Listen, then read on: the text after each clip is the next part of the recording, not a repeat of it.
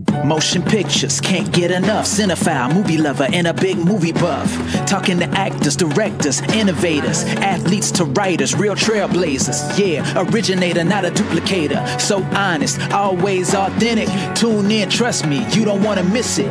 This is the Monday Morning Critic. Amazing life journeys, great interviews from sports analysts, even reporters too. Captivating, always top content, bringing top quality. Everybody's talking. Yeah, originator, not a duplicator. So passionate and so authentic. Tune in, trust me, you don't want to miss it. This is the Monday Morning Critic. Woo! It's sad to see a fighter that was once the caliber of James Braddock reduced to this. Listen to me. Your legs are getting heavy. You're too slow. It's over. Just give me another fight, Joe. What's done is done. Not always. I'm sorry, Jimmy. I'm always behind you.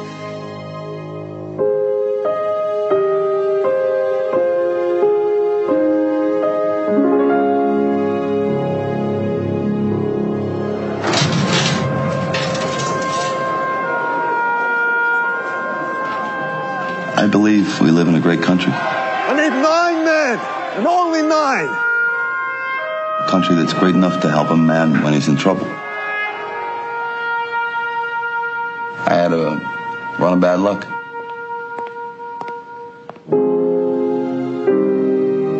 I owe everybody money.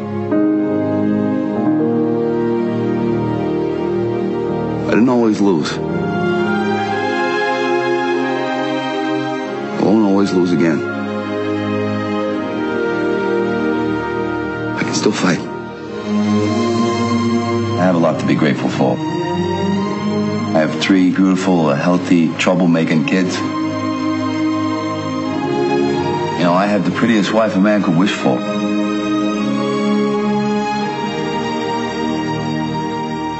We live in a great country. I guess I'm, I'm grateful for the opportunity. These days not everybody gets a second chance.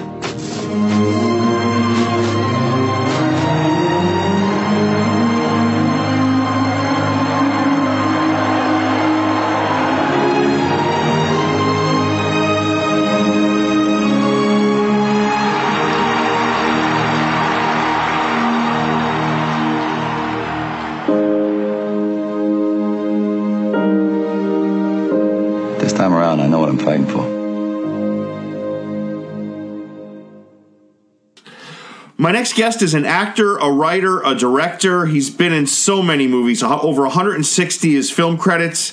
Uh, he's an award winning actor. He's been in A Bridge Too Far, A Spy Who Loved Me, and my top five Cinderella Man. He's Toronto born, raised in Montreal. His name is Nicholas Campbell. Nick, how are you today?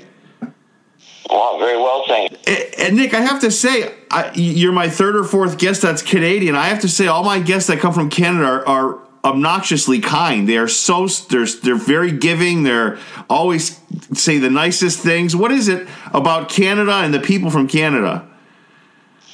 I don't know. I'll be the exception to the rule if you like. Uh, no, I don't know. I think we're uh, wow. We're always very kind in our assessment of our neighbors to the south, even with your president right now. and uh, there's always been a kinship between America and Canada. We don't. We sort of consider ourselves part of the United States, even though we don't get all the benefits or all the disasters. Right, right. So maybe that's something to do with it. But I think it's just old fashioned, you know. Uh, Canada, especially Toronto, was established by that old Scottish mentality, and we still haven't got away from it. And even all the uh, the immigrants, which is at least fifty percent of our population here, uh, they kind of get on board with that too. So, yeah, it's pretty hard to get somebody to yell back at you, and you you experience about fifteen or sixteen sorries every about half hour. You know, he even looking at you the wrong way, or they're in your way when you're walking. Oh, sorry, sorry. Oh, sorry. yeah, yeah. That's very common. and It's a cliche, but it's true. No, it is. It's it's the it's the how cordial and, and kind people are. It, it, it is stereotypical, but it's so true in, in, in the sweetest of ways, you know. And, and I tell you, Canada doesn't get enough credit Nicholas, for two things: the actors that come from Canada and the and the the scenery. I mean, so many real high profile TV and, and, and huge movies are shot in Canada, and, and the scenery is Yeah. beautiful. Is beautiful, and I don't think people realize the actors that have come from Canada, great ones like yourself, and I'm going to go into some of the others later. But why doesn't Canada get recognized for a lot of that? I mean, scenery is is, is Well, stunning. I think, I, th- I think a lot of it comes from the from the Canadian mentality, which is we don't really celebrate our own very much here, right. especially in the movie business. They think, well, if you're really an actor, how come you're here? Like, why aren't you in L.A.? That's been the constant thing. So that was my first idea when I wanted to seriously pursue acting. I never even considered the possibility of basing myself here. So I lived in England for 10 years, and then I was down in Los Angeles until 1996 or so. And then I just thought, well, no, they really are making some inroads up in Canada. I want to be part of something to get on the ground floor. So I came back then. I kind of I've stayed here ever since. Yeah, and you know it's But okay. it's a, it's a We there's a lot of talent here, and we we just don't celebrate. Most guys uh, and women they want to go south and have a chance, you know, at least when they're young, to try and get the big cherry, and then later on, if it's not working out, you know, we'll come back here. Right. But now is now we have an established industry, and you can make a living here, and there's good theater, which you get paid for, and so I could actually survive just on theater here. Right. Which don't, there's not many places anywhere in North America can do that. Yeah, yeah, and you know, ju- just to give people a rundown of some of the people that are Canadian actors, you know, Jim Carrey, Ryan Gosling, Seth Rogen, obviously the very talented Nick Campbell, Mike Myers, Ryan Reynolds, Rachel, you know, I can go on and on. Keanu Reeves, John Candy. There's, That's quite that's quite a list. Thanks for including me. but it's like you're right. It's it's the it's they're Canadians are very humble, and they're not going to say, well, look at all our great actors, or look at it. But if if you look at any of the great movies to come out, you know, especially in the last tw- 10, 15, 20 years, many of them are shot in Canada. These Canadian actors are a part of it. Um, I don't know. I, I think Canada's on the map, but just very kind of subtly because that's the way they want it. I guess. Right? Is that a fair way of putting it? I I think so. I think so. I mean, a lot of the reason why Americans come up here, because there really isn't any difference between Canada and America. I mean, the same scenery exists. It's only a few miles away. But uh, there's just a a great advantage for a producer to shoot up here because, you know, with the dollar, it's like finding $250,000 on the sidewalk for every million US you're going to spend here. Right. And then we also have provincial incentives. So it can work out pretty well. And uh, we have, I mean, my assessment anyway, from working in Europe and States and here, we have the best crews here. They're really fantastic. They really paid attention when all the American keys used to come up here in the old days, and they've taken it on and made it their own. So most most American friends of mine are ones who based their careers here and shot all their stuff here. Come here a lot because of the money, but uh, secondarily for the crews. Yeah, that's well said. You know, our, and, and let- union, go ahead. I'm sorry. our union's very generous. We let the Americans bring in their whole cast. I mean, you, we used to get a little tough with them, but now they have the freedom to do it, and I kind of agree with that.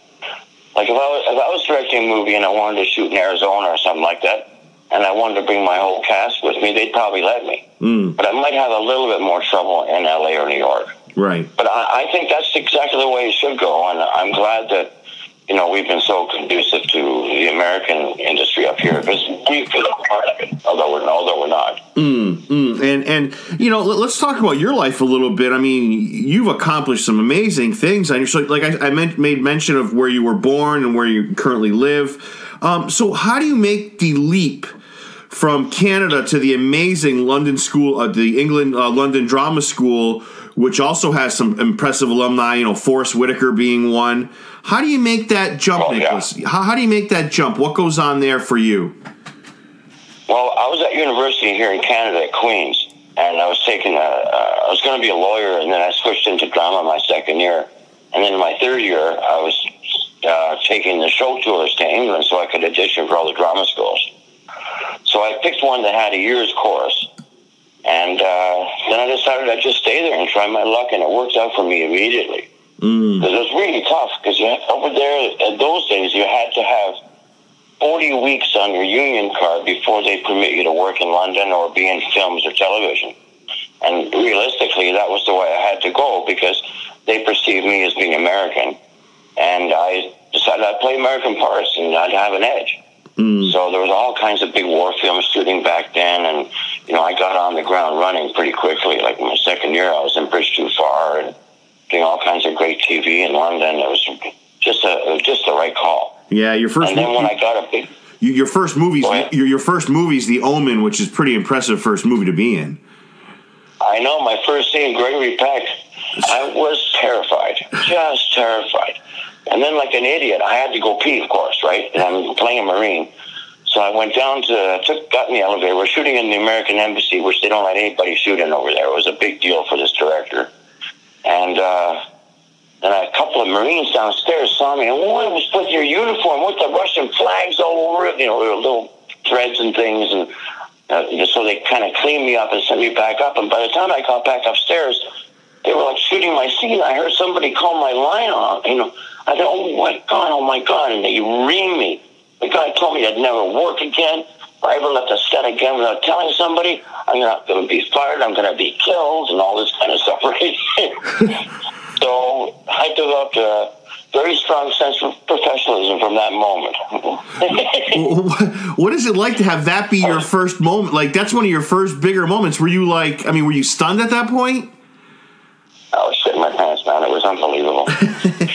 I didn't even think I was that great an actor. I only, I only had two lines, right? Right. And so I overpracticed them, and they were coming out like the Lord's Prayer, and the director was very, uh, very worried about me. He tried to take one of my lines away, but I hung in there and did it okay. And and then I got another film like the next week, so things were starting to move along pretty well. Wow. But when I got into Bridge Too Far, I really had a okay part in that, and uh, he was so generous with me, uh, Dickie Attenborough.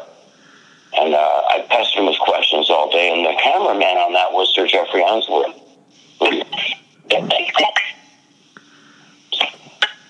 So by the end of my thing with James Caan, they said, well, uh, if you ever want to come back, uh, just get on a plane, we'll pay for it. Just stay back in the hotel with everybody else and come back and watch. And so I went back two or three times.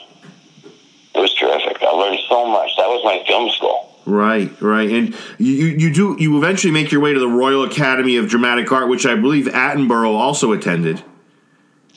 He did. I went. I was accepted there when I first auditioned uh, for all the drama schools, and then I thought I don't want to do the three years, you know. Right. So I did the one year course, which wasn't that great. And then I had my card, so I got in touch back with Rada, and I asked the guy that ran it, could he make an exception in my case and allow me to come back there in the fall?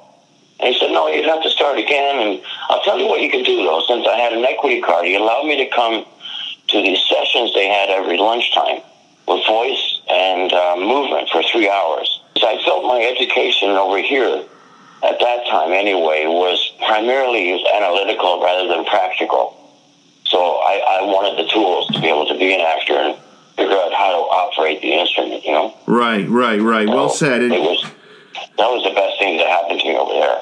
so, so you're you're you're really proud of being Canadian. You love Canada, obviously. I, I can hear it in your voice. Uh, do you ever get homesick? Oh, yeah. You ever get homesick in that time span, Nicholas? Between you know spending, I know you said you spent ten years in England, but was there ever a time you just you really miss Canada and you're you're contemplating going back?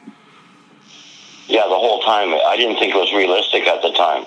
Right. when I first started. And then once I did come back and I moved down to the States, I'd opened up the door up in Canada, hired an agent up here. And so I felt what I could do is I could just go for like leads in a series or uh, good films and then save all the garbage just to make money. I'd come back up to Canada and do it. Right. And then pretty soon they started making better and better stuff here. So I thought, well, maybe I've got, maybe that's the move for me as I was becoming 35 at that time. And I had a kid. I'll come up to Canada and try and, and start something. I wanted to be a filmmaker as well. So I think I had more chances to do that up here. Right. Yeah. And, and you know you spent you. I think you may mention this, but I think you went for you said forty weeks t- touring with a theater company in that time span too. 40 weeks. I wonder what that was. Uh, it was uh, a theater Oh, company. 40, 40, 40 uh, um, weeks is what you need on your equity card. Right. Is there was there a touring company you were with at that time? Uh, with a theater company? Oh, yes. Well, I got, I got my whole 40 weeks at one go. Wow. So I didn't, you know, most guys it takes it two or three years to get that many Right. weeks. And but my first job was I was attached to a, a theater company in New York, and they also had a theater in education schools with original shows during the day, and then at nights you go back to the theater and you be the dead body in Arsenic and Old Lace or something, right? you just play like walk-ons. Right. But you know, I learned so much, and I was working with the best actors in the world over there, and I, I just picked up so much. And they tease you the whole time, the British, you know, like, everything is like, you know, the first day of rehearsal, I'm sort of going, uh, I say my line, and then the actress I'm working with looks at the director, she stops everything. Is that how he's going to say it? Is that what it's going to be? oh, I just want to know. You know, they're winding you up the whole time. They're always trying to play jokes on you. Right. They're always trying to corpse you on the stage. And so you learn to get a really pretty tough skin if you start there. Right, right, right. It, it, here, every, everybody's so polite in Canada that sometimes it costs us because, you know, sometimes you just have to say, look, this is shit. It's not working. Uh, Let's just look at it again. Everybody's all happy and they think, well, it's on its feet. Let's just leave it. But no, you, you really have to like push it and push it sometimes if it's not happening. And it's obvious when it's not. But sometimes in Canada, we're so polite, we don't want to hurt people's feelings, and we were reticent. But the Americans not so much like that, and definitely the British aren't like that. So right, right. you need that toughness, and I'm kind of that's what I'm kind of known for for being too honest sometimes, maybe. Yeah, but that's a good thing. And, and, you know, how necessary when you look back at your career because you're still working your ass off, you're still an actor that is, you know, it's hard to be at the level you're at for for that long a time. Like many actors would give their left leg to, to do what you do. Um, you know, I guess my question is when you look back at your life, do you was going to England essential? Could you have been where you are today without going to England? I don't think so. I, I don't know if I would have hung in there. Like it's always tough when you go to the states because it's a such an overwhelming thing. But if you have a little bit of a bit of credit, and especially I just worked with Olivier and Joanne Woodward, and it was going to show on NBC. It was a television version of Come Back to Sheba. So NBC had bought it, and uh, I thought, well, this is this is my entry, right? And the Americans are so welcoming when there's something there. But if you come in with no credits, then you you're looking at a different kind of world, you know, and it's hard to get them to notice you. But I had it so easy when I first moved down to California because of that credit. And even though the show didn't do any good on TV, it uh, it opened the door for me. I had a series within about two weeks of getting there, and it was just the, the greatest thing that I could have done. Uh, how do you like theater, Nick? Uh, uh, you know, I know you're a movie actor. Obviously, your TV, you- you've done that. How do you feel about theater? I feel like most actors I interview are very passionate about it. Uh, do you view it? Are you passionate about it? Do you like it? How, what's your overall view of the theater? Yeah, I love it because it's so difficult. Right. and you, you you never really think you're doing well. We're often in films, you know, you feel like, well, that's kind of the best it could be, or it's so natural because you got the real toys and everything to play with while you're there that you it cannot be it can't not be natural. But in uh, uh, in theater stuff, I find getting it natural is the, is the biggest trick, and that's what audiences will respond to. So I like the theater for that, and I also like it that you know you don't have to worry about um, continuity or anything. You're just starting at the beginning and getting to the end every day, and I love that. And I love the what I like most about acting is the teamwork aspect, Right. which is why I've been in the theater. Yeah. It's, it's like the best thing. If you couldn't make a, a professional hockey team for me, this would be the closest thing to it that I could do. Right. Right. Right. Oh, that's that's that's when I have the most fun. Yeah, and I was watching something. On, I was watching something on YouTube, and I think you were talking to some actors. And here's where I love your honesty. It's just so. It just it screams in your performances. It screams as who you are as a person. You were talking to actors, and you were talking about how you know you learn by osmosis. You learn by your attitude. I, I just I'm really impressed with the way you kind of convey your point and how to be an actor. Do you remember, do you remember that clip, Nick? Yeah, I do. Yeah, I mean, so when, I felt like at, at drama school, it didn't really matter how good the drama school was. That's not who you learn for. I mean, the instructors can be great, but it's really the osmosis of being with a bunch of people that want the same thing out of life as what you want. Right. That you really learn shit, right. and you're you're able to like overcome barriers or get the real deal on how bad you actually are and why. And uh, that's what's that's what's valuable, and you get that from the other students that want the same thing as you more than you get it from instructors who have to be more political with you. You know. Now, do you find yourself talking? To, are are you in a position to talking to actors a lot? Do you do you often speak to to people that are up and coming actors? Oh yeah, oh yeah. Well- you know, on the set professionally, for sure, they all kind of flock around me, Right. and uh, I often do, I often do teaching, like unpaid stuff. Wow. When I was doing Da Vinci, uh, my boss was keen on that, and we used to do workshops about once a month, and professional actors would come, and we I don't think we used to charge them, or if we did, it wasn't very much, and we would do a weekend and stuff. Wow. And they got a lot out of it, and so did I. So I find the process of teaching kind of uh, gives me confidence, and uh, my my work benefits from it. Yeah, I mean, uh, what's the question you get most, Nick? So, if I'm an up and coming actor, what's the question you find yourself fielding the most?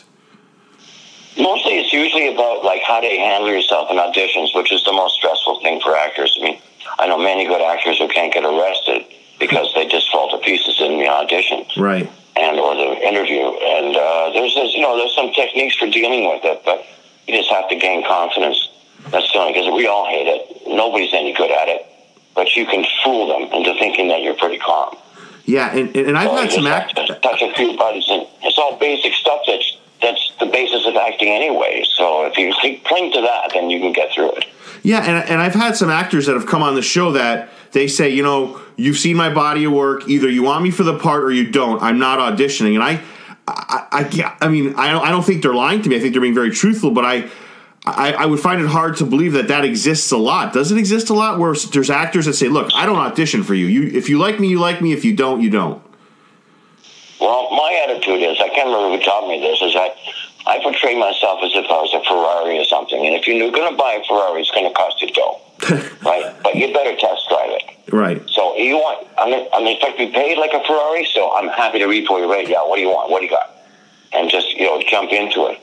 And just that kind of bravura, you can kind of get people on your side. And then you're either right or you're not right for it anyway Right. if they're seeing you, you're probably right. So all you have to do is not fall into yourself, and you'll have a good shot at it. But there's no way to analyze uh, why they pick who they pick, when they pick them, and you just have to go with it and just put your best foot forward and not try and second guess too much.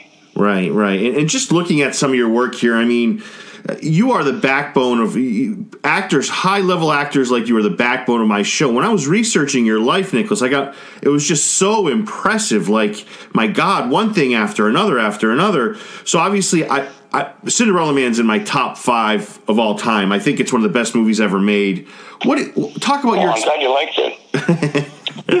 it is it is one of the best movies for a lot of reasons, but I'm not going to waste your time in going over all of them. But uh, A lot of people hated that movie. I mean, it was unbelievable. I thought, I thought it was pretty good. oh, oh, I mean, he, he, he was something else, uh, Russell. But apart from that, like, because Ron Howard was running it, I, I don't, I never worked with a director who was that warm and on it. And, uh, you know, for an actor, he's, a, he's your ideal guy because back and watches, you deal with it, right? He gets a big kick out of it. right, But you know, if anything really got stupid, he, he'd be backing you. right.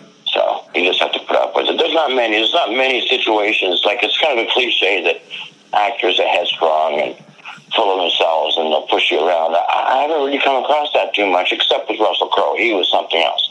Oh, He so- intimidated everybody. He had some actors in tears, and oh, it was unbelievable.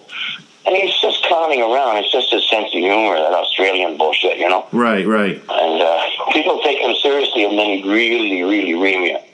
When you started, Uh, when he, you, something else. yeah, when you started a little bit, you dropped out a little bit. So you were saying that Russell kind of is he was he was a little bit over the top on set. Sometimes you say, Oh, he's nuts. I mean, he's just nuts. I Yeah. mean, if he comes, right, sometimes he doesn't get there until five, six hours after we're supposed to be there.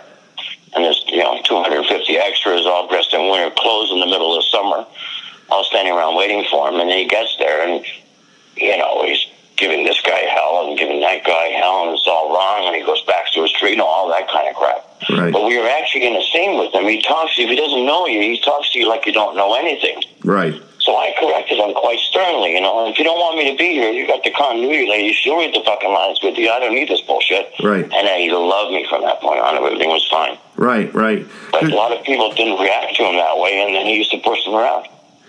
Um, yeah, and, and you you obviously like you just mentioned, you do have a scene with him, and you have a lot of iconic lines. And I'm going to tell you a couple more things in a second. How, how would you describe Sporty Lewis for the for those people that haven't seen uh, Cinderella Man? Well, he was supposed to be. Who's that famous writer from uh, that wrote all those great um, Broadway stories? You know, with uh, like uh, Guys and Dolls is basically from one of his stories. Do you know who I mean? Mm, I, I know who you're just talking about. his name right. Yeah, your whole audience will know. They'll be screaming at this right now. Mm. Um, he was supposed to. I was supposed to be that guy, that famous writer. Was it Abe Burrows? was it uh, was it Abe Burrows? No, no, somebody even more famous than that. A little bit before, way before that. Damon Runyon? Uh, back at No. Damon Runyon. There we go. Okay. So that was supposed to be the flavor and the and the tone of it. And Russell pushed really hard to make me that character and to give me that name, but for some reason they didn't want to do it. Maybe it was some rights thing.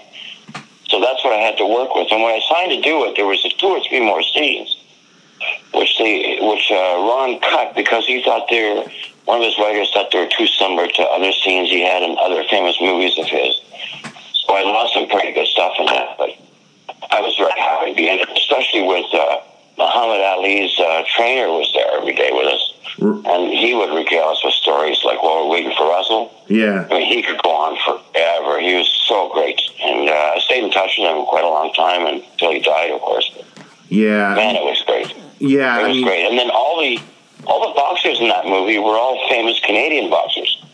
You know, guys who were still going to gym every day. So they all the corner men and they got guys that looked like the real guys and so there was quite a collection of famous boxers there and I know them because my son was a boxer, a serious guy when he was a youth. And so I knew some of these guys by reputation more or less.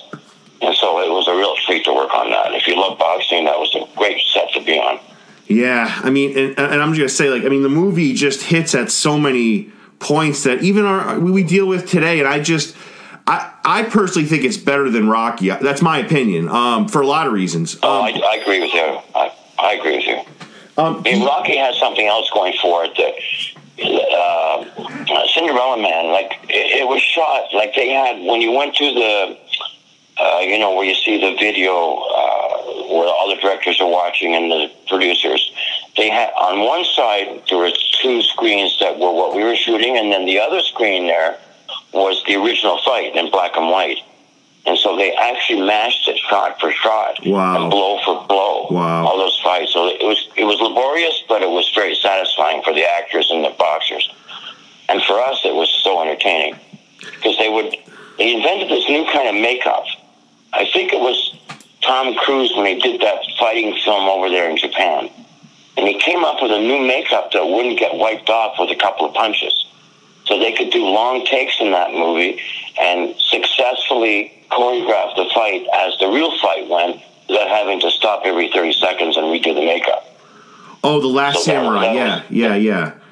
So that was the main reason. So a lot of those boxing scenes really flowed. Whereas in Rocky, it was all uh, fictional anyway. So it didn't really matter. But it mattered to Ron, it mattered to Russell and everybody on this film to get them perfect. And without this makeup, it would have taken another couple of months. Wow, wow. It was good. Wow, and, and you know, just the scenes, the simple scenes of you know James Braddock begging for money, like that just hits home at a lot of people even today. I just. I- I I feel like it, the, the boxing part is phenomenal. You, know, you mentioned Angelo Dundee, obviously, but but I don't know. It's the it's the real world stuff, Nick, that still applies today. I just it's a, this movie's a home run in every way. And uh, do you get asked about this movie a lot? Do people say, "Hey, how about your time with Cinderella Man?" Or is it something that you're not asked about a lot? I'm asked about it quite a bit. I mean, Yeah. most, most, more by Americans than by Canadians. More Canadians usually ask me about Da Vinci's Inquest, Mm, the, the long-running coroner series I had here, and they, they forget that I was in other things.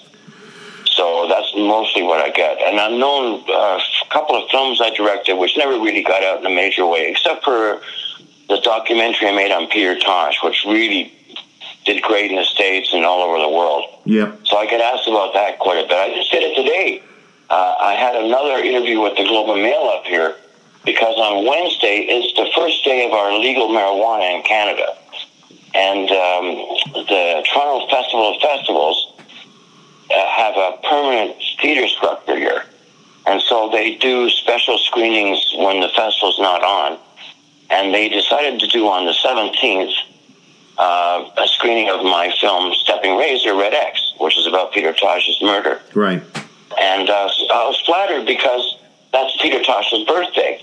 And then the reporter today on the phone says, so how do you feel about uh, introducing this film again to people and it's the first day of legal marijuana? And I forgot all about that. Hmm. I said, great, I'm going to come out in the stage then with a big joint in my hand and make sure I blow a lot of smoke around the theater, which I used to do at the festivals.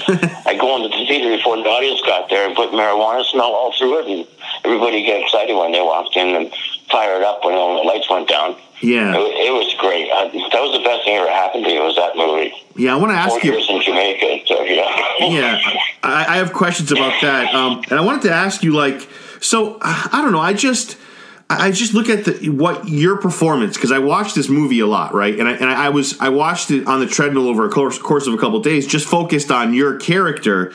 And I don't know, man. You got a great look. Like even like you have some epic lines, right? Is that a ghost I'm seeing? You have a great scene with Russell, you know, and Yeah. you, you're, you're a real smartass to, to to James J. Braddock. You know your character is, I should say, and you know, and then you Yeah. you come around to where like you, they're going to rob this poor bastard, and then I'm going to tell you something, Nick, and I'm kissing your ass here, and I don't care, but.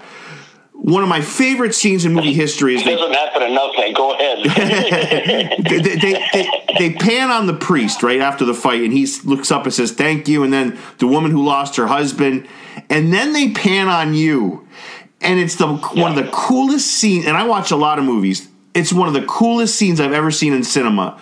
They, they focus on your face after the fight, and it's like they it was almost like the development of your character in this movie. You're first very serious, and then your character smiles like you're so happy for him. I'm going to tell you, man. That's a Right, right, right, that's a yeah. that Nicholas. That that's a that's a that's a clinic in acting right there. Oh well, thanks. You know, we didn't know when the camera was on us a lot of the time, so you just had to be going all the time, every take, and there were a lot of them, a lot of setups.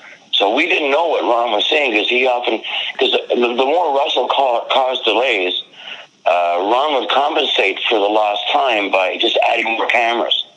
And they had tracks going all over the place. We shot it in Maple Leaf Gardens, which was a bit like Madison Square Gardens. So a lot of the big fights were all staged in there and made to look like other places. And so we made up the time with adding cameras. So there was cameras, you know, everywhere. And so you didn't know which one was on you, and you just had to stop even thinking about it and just be right and just be in it all the time.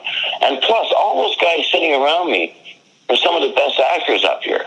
Mm. So we were having a great time all day, you know, smoking joints and the whole fucking nine yards, and helping each other and encouraging each other. And what do you think I should be doing? Oh, and then what do you think I should be doing, and all that kind of stuff. So it was fun, and we were there for weeks and weeks and weeks. So I made friendships that have endured to this day. Yeah, I mean, every time your character opens up his mouth, he comes out with something either su- supremely funny or very serious. Like, you know, the walk from the ring to the locker room is the only time he was seen on his feet. And then he comes around to be this really just, he cares about him. He, Sporty Lewis does his job, but he also cares about him. And I'm one of big believers in there's only one actor is made for each part. And I, and I, I don't think anybody else could have pulled off what you did.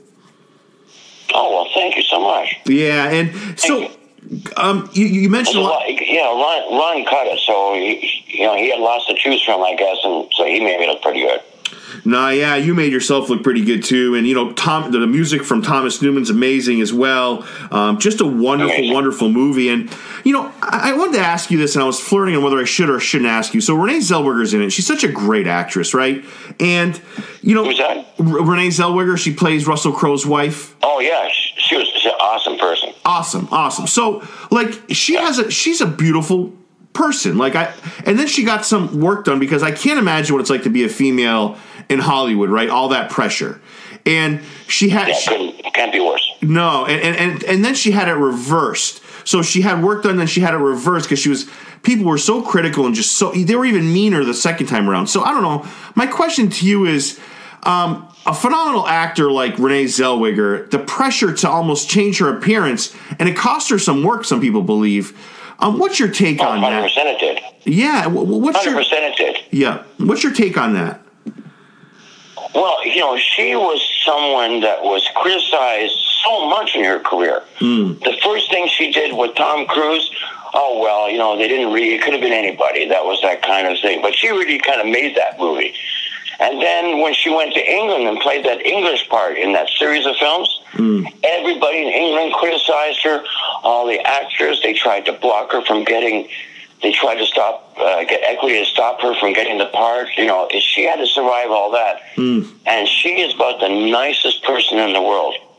And uh, so Russell, he he was like he didn't exclude her from some of his antics, right? So she suffered a little bit too when things were delayed because of his whatever he was up to. And uh, so he used to compensate by like buying her stuff. So she would come in the morning and her trailer would be full of all kinds of expensive gifts. One day even left her a car and she just would give it all back to him. She didn't need all that stuff. She's already getting paid. I'm good, you know. I I was so impressed with her. I just loved to spend some time with her. And then I bumped into a few people like who live around the Yorkville area, and she that's where her hotel was. Hmm. And they all have stories of bumping into Renee Zellweger shopping, and then how nice she was, and then oh, she invited me to come and have lunch with her because they had a conversation in the shop, or she gave them a half an hour in a coffee shop or something like that. Wow. So she's just one of those great people in life, you know, and uh, one in a million type of girl. Yeah, and um, I have to ask, you know, is there a mentor or a person, maybe after your time in England, that really made a difference in your life, Nicholas? Olivier. Yeah. Yeah. I, I say without hesitation. Also, the director, uh, David Cronenberg. Mm-hmm. He gave me a lot of encouragement when I did come to Canada. And the first thing I did here was one of his early films. And then he used to encourage me all the time not to discount the benefits of Canada because he ran his whole career from here. And that I could too. And so eventually I did come back here thinking of what he had told me. But certainly as far as the acting was concerned, the biggest sort of shot of confidence I ever received was when Olivier cast me in Come Back to Sheba.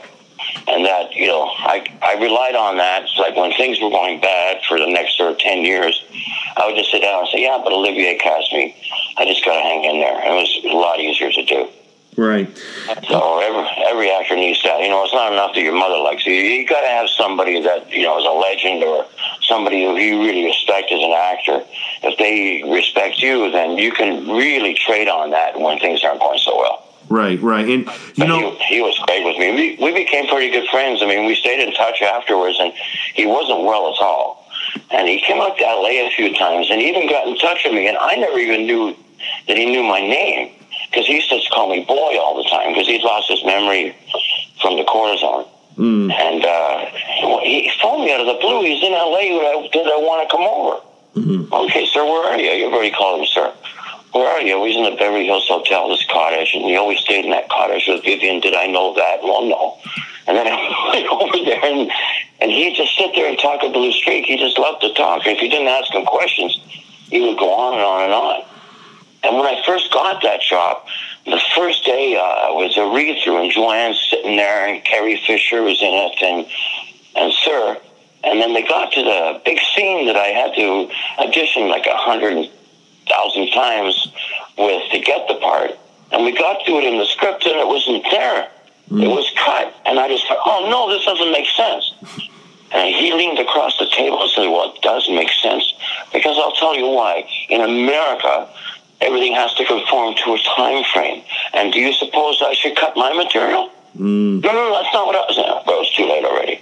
so then they called tea break, and someone comes up to me and says, When did I want to get my hair dyed? I said, I'm not getting my hair dyed. I didn't know if I was getting my hair dyed. And he heard it. And he comes like limping across the room. If it wasn't trouble for him to be knighted by the king with his hair dyed blonde to play Hamlet, how is it a problem for a little yank like me?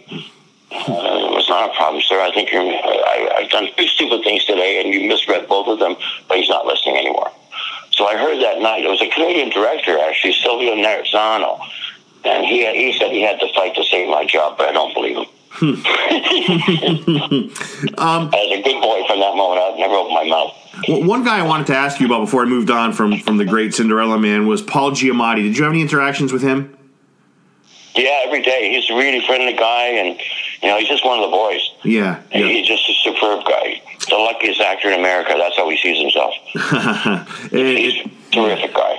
Um, how about uh? And So you, he's got guts, man. He, he he's full on, man. He's you know, his performance was just unbelievable. Everybody says, "How he's going to do?" I said, I, assume. I don't think they're rehearsing right now.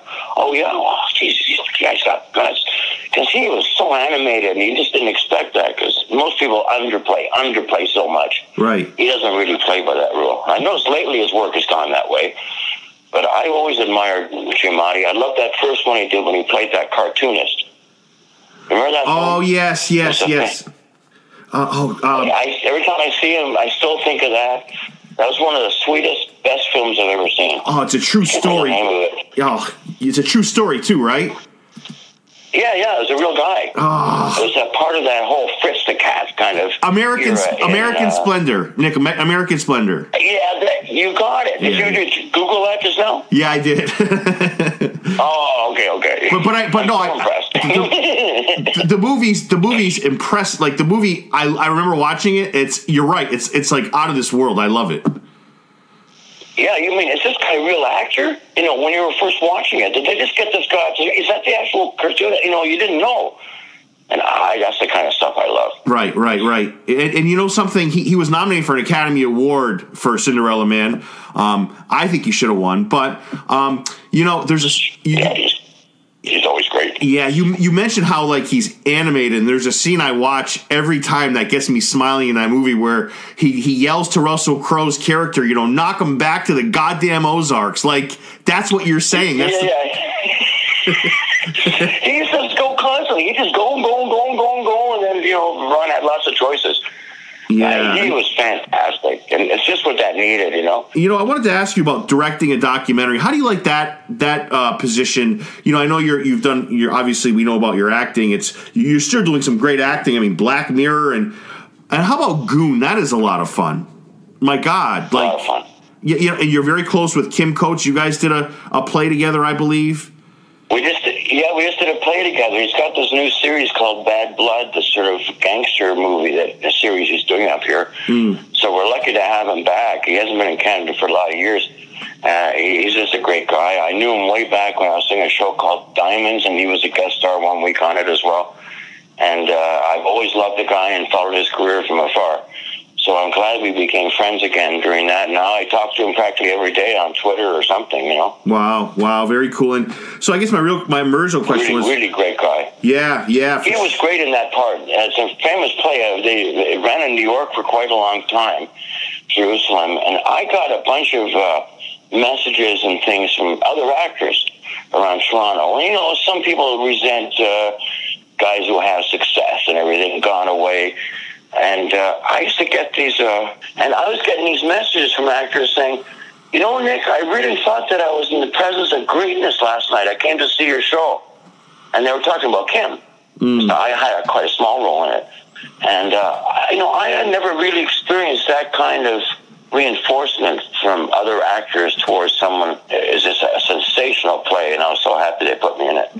Yeah, and you, you know, uh, w- one of the questions I had for you was your your your documentary, which is well reviewed. And how do you like being on? You know, one of my dreams is to is to direct a documentary, but I don't know where I would start. Like you went to school for acting and all that other stuff.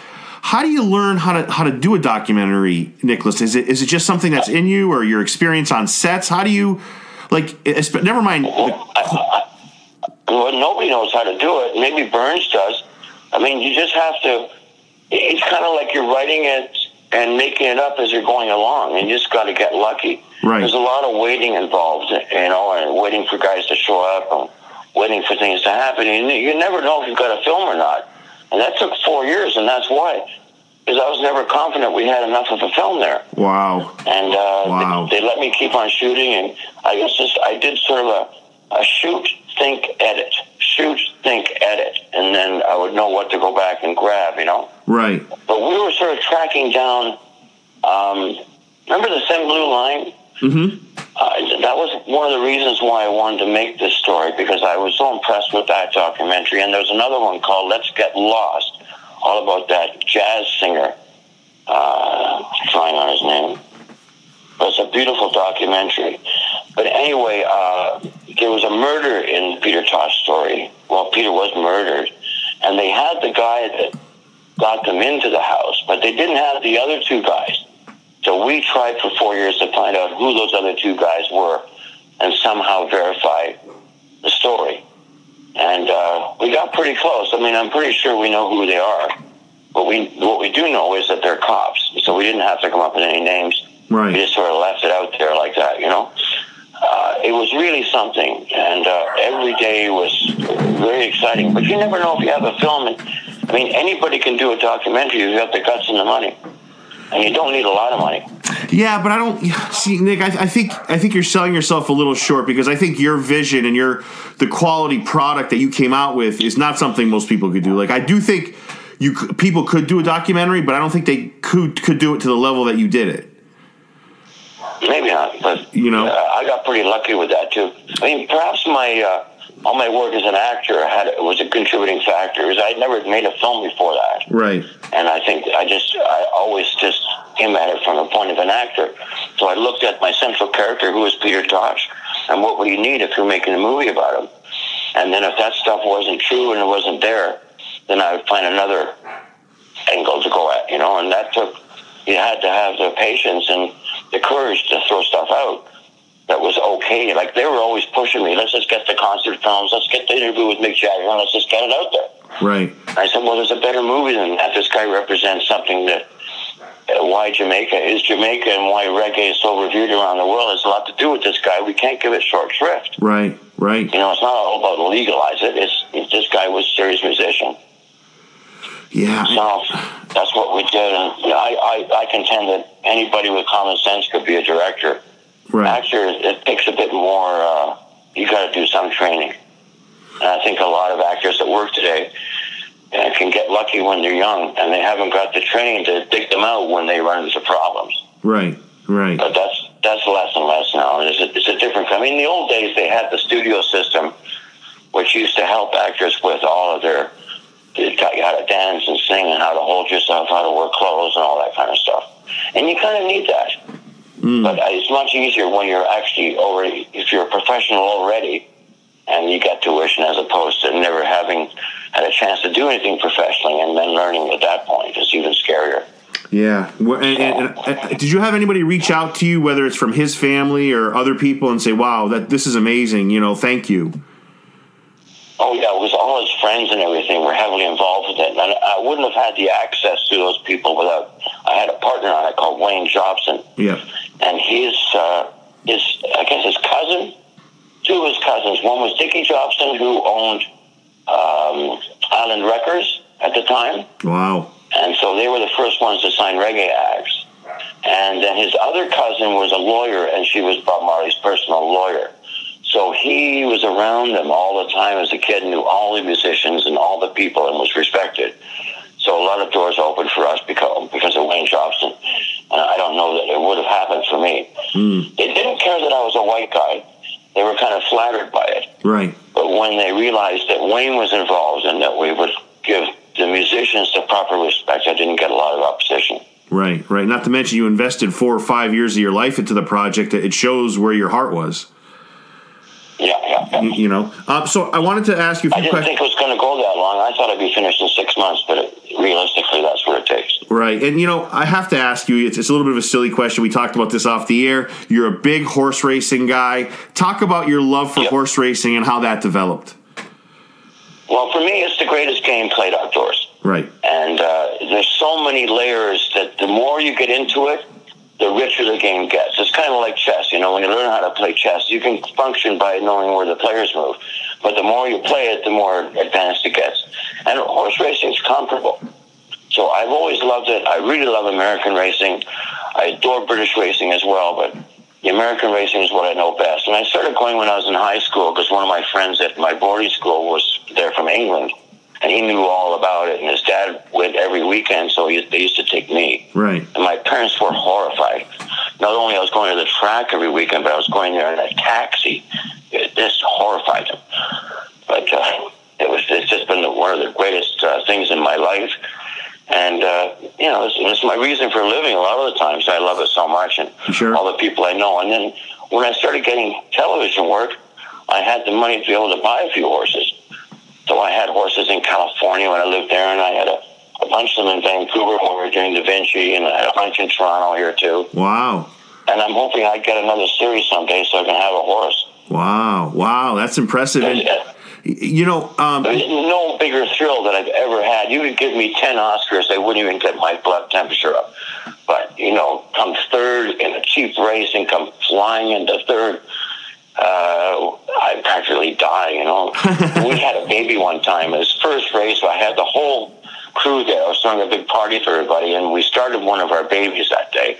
And he broke out of the gate, and he was like 12 lengths up, and they turned for home, and he's way out in front. And I couldn't take it. My heart was beating so bad, I had to turn away. And then my partner in the horses, he looks, he's, he says, uh, you can turn around, Nick, it got caught, you know. so we got second, but I'm telling you. And then the first first sort of stakes race we ever won, I practically had a heart attack right there. I mean, I couldn't even go to the to the winner's circle because I was afraid that I'd fall down or do something stupid, and everybody knew me by that point, you know. So I let my partner go. Yeah, and, and, and you know something, you, you know, I I wanted to ask you. Like, I mean, I have a friend. I told you off the air, Ted. I, I have a friend, uh, Ted, who's big, you know, big horse racing guy like you, and I've learned so much just being around him. You know, jo- he thinks that jockeys are the dumbest people on the planet. Well, I take the opposite view. I take the view that you don't understand horse racing unless you analyze it from the humans involved. Right, right. And the only guy that gets on a horse is the guys. He's the expert on that animal. What's wrong with him? What's good about him? right. So I look at so what I watch for is jockey changes. So when I see a guy like Ortiz, for example, he's ridden his horse the last two times, and now he's not on it. He's on another one with maybe perhaps inferior form on paper uh, beyond the one he's on now, because he's not running that one because he knows it's not going to get him first place, Right. Unless he was fired, but you don't fire Ortiz No, right? So that's what I use that as my analysis. I know a lot of uh, owners and trainers think that jockeys are pinheads and white pants, but I take the opposite view. I, for me, they're the best athlete, professional athlete that there is in the world today. yeah, I mean, it's a sport. It's a sport with two species. right, You know, it's not like it's you got a hockey team and you got you know five other other honkies out there. This is two species. So the jockey's the only one who's really in control. The horse doesn't know what the hell's going on. You know, he's always turning left. It's easy. Uh, it's the jockey that has to decide. And uh, so there's a guy right now in New York that I love called Joel Rosario. And I'll, I'll just play anything he's on because I think he's a genius and Right. he can bring them from nowhere. He's so exciting. And my dog just goes crazy here. Rosario, I'm screaming in my living room, and my dog thinks he's in trouble. And oh my god. I had a yes, it's the most fun you can have. no, I had a I had Gary Stevens on the show. He was one of the, he's one of the best jockeys. He's in Seabiscuit. What a nice guy he was. He's my one of my heroes. Yeah, he's he's he's really a, just a stand up guy, you know. And I, I think you're right, but I think where my friend Ted gets mad is when he sees a jockey like burn a horse out early, where they're not pacing the horse. Like Ted's big into like I forget the word for it now, where where you ti- where you time it, where you give the horse its final push at the right time. You know, um, horses. Yeah, yeah. The horses that like are better finishers than starters. He's there's so much more to horse racing than just saying, okay, I'll take number three, six, and nine it's it's a science. It's it's it's just amazing when you look at all all the factors. Like you would mention the human factor. There's so many factors involved. So many, You know, so- so many. And you can't underestimate what the trainers do. But when the race starts, they're not involved anymore. right? So you just got to be able to get the six furlongs or whatever it is. And, you know, you got to rely on the trainer to put the horse where he has the best chance. And he's not just giving the racing secretary a favor because he can't fill a certain race. You can analyze all those things. That, I mean, my favorite part of racing is actually the racing form part of it. Right. And trying to figure out what's actually going to happen in advance. And I don't know any other sport where you have as much information and the ability to predict stuff. So that's also an added feature for me. Right. I love the form. I pour over it every day. Uh, what's your favorite American track? I love uh, Saratoga. Yeah, we were just I, I there. did. I've never, I've never been there yet. I won't go there until I have a horse running. Right. But I used to go every day to Santa Anita, and it's pretty hard to beat that track. But I just love Saratoga. I love the quality of racing there. Right. I love the kinds of horses that get attracted to run there from Europe and Canada and everywhere. It's good every day, and I won about nine hundred bucks this year. I keep track every day. And at that meeting, I didn't have any work during that period, and I, I won about nine hundred dollars, which is huge for me Right. over the four weeks. Sure. So Yeah. Yeah. Great. I great. love Saratoga this year. Yeah. yeah. We went. We went. We go once a year. Yeah. it's always great. Everybody looks forward. I love Keeneland, which is on right now too. Right. Right. So you were talking off the air. You have two televisions you watch, right? With with the with the different racetracks on each one. Is that what you said? Yeah, yeah. I got two computers all hooked up. I got my gambling site on one of them, and then all the, you know, streaming of all the different tracks. I got every track from anywhere in the world. Wow. I get up in the morning sometimes at like seven or eight, and I play the English racing. And then when around noon comes, I'm on America, and then also South Africa, and then uh, I move on to the West Coast, and then over to Australia, and then finish up the day in China. Wow. Wow. It's fantastic. Wow. So you can really go for 14 hours a day, and I got friends that like to do that. So that's a big chunk of my life. Yeah. Right How, how is uh, how do you like harness racing? Uh, I don't mind it. I mean, there's not as many variables, so it's not as interesting for me. Right. But uh, it's a big, big deal here. Mm. And uh, so a lot of my friends are dedicated to it, and I don't really get what they like about it, but it's all racing, so it's good. Uh, his name is Nicholas Campbell. Nick, you gave me over an hour of your time. I can't thank you enough. Is there anything you wanted to promote, get out there, or you know, throw out there? No, not really. All right. I got anything coming out? Oh, I got a new series I'm doing called Coroner, Mhm. and I heard that NBC bought it. Oh. So I don't know if they bought it to schedule it or if they're going to try and sell it around the world. But I, I hope this show gets to breaks the ice with the American networks because it's really high quality. I haven't got a huge part in it or anything, but uh, I'm really impressed with the quality of the scripts and the other actors in it. And I, I hope that gets some kind of play in the states. But I'm sure with the computer and everything, you'll be able to stream it. There'll be a way that people will be able to see it. So watch out for Coroner, which should be starting after Christmas. You know, you're just a phenomenal talent. I, I just can't thank you enough for coming on the show today. Oh, my total pleasure. Thanks so much for your interest, man.